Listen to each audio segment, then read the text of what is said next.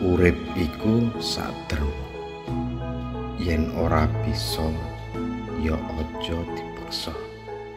Dioyak tansaya adoh digelani ora bali. Dipikir dadi kentir kabeh iku wis ana sing ngatur.